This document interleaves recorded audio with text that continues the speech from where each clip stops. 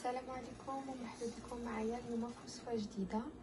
آه، إن شاء الله يلقاكم هذا الفيديو على خير وبصحة جيدة إن شاء الله.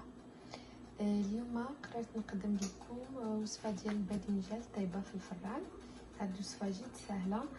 أنا باش نختصر الوقت وما نطولش عليكم.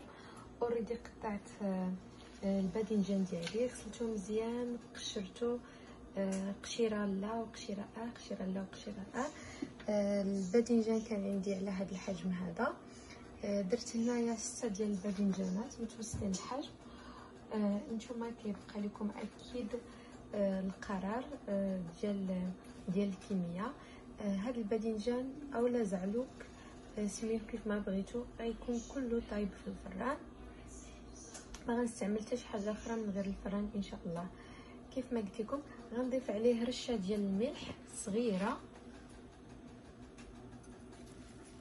آه كمية ما كاملاش واحد نص المعلقة ما كاملاش آه رشة ديال الملح. غنغطيه آه بالسلوفان كيف ما كتشوفوا. كما كتشوفوا عندي هنايا غنغطيه بالسلوفان آه وغنغطيه بالالومنيوم وغندخلو الفران.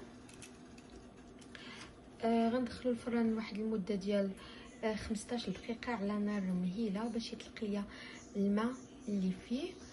وي تقريبا نقولوا يتشوى ليا في الفران. وخليكم معايا باش تشوفوا تتمه المراحل إن شاء الله. من بعد ما درت للباذنجان ديالي السلوفان الالومنيوم غندخلو إن شاء الله للفرن على حرارة ديال 320 آه، درجة. أنا عندي الفرن ديال ديال الكهرباء.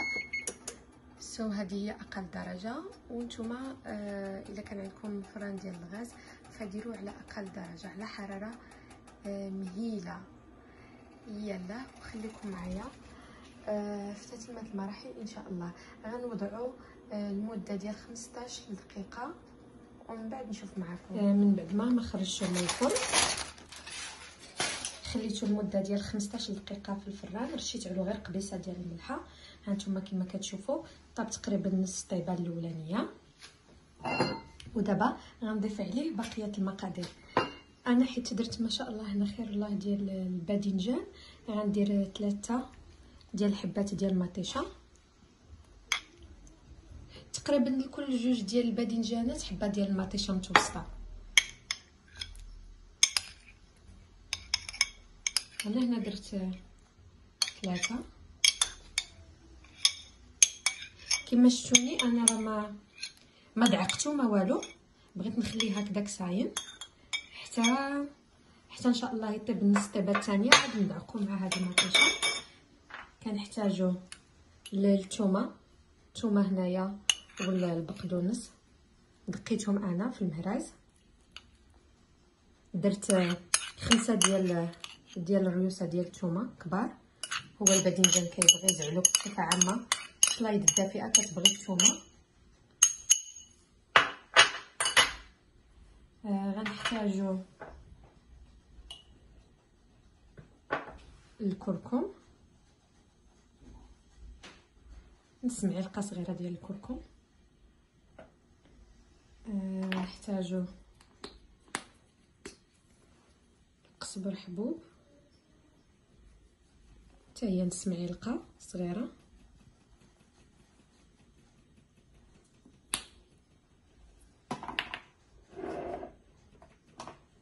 نحتاجو البابريكا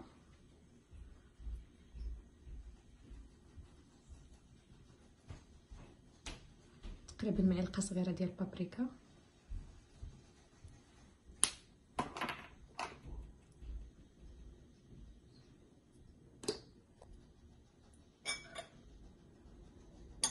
غنديرو شوية ديال السودانيه السودانيه غير على على رؤوس الأصابع واللي ما بغاهاش يستغنى عليها ويدير غير الإبزار.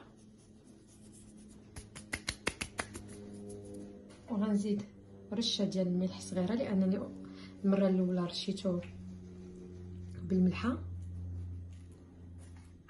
غير رأس ديال المعلقة وغنضيف زيت الزيتون. أنا هو كيبغي زيت الزيتون. غنضيف زيت الزيتون دابا وإن شاء الله لما نطفي عليه.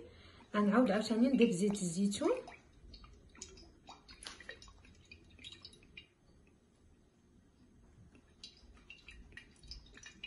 هنا درت كلشي سبعة ديال المعالق كبار ولا أكثر ولا عشرة. لانني عندي الكمية كبيرة. وغنضيف واحد طريقه ديال الكمون غير طريقه باش ما يمرروش غير باش يعطيه ديك البنة. وإن شاء الله غنعاود نغطيه بالسيليكون وبالبابي الومنيوم وغندخلو 15 دقيقة أخرى إن شاء الله يطيب آه كيف ما قلت لكم دخلته لخمسة دقائق في الفران هاني خرجته نساجم الكل أنا كنضيف عليه زويته بلديه من بعد لأنه هو كيبغي الزيت البلدية. تقريبا جهد نص كاس ديال الزيت البلدية. وهاد السلطة كتقدم دافية خصوصا في موسم ديال ديال الشتاء ما كتقدمش باردة إلا في موسم الصيف كتقدم باردة.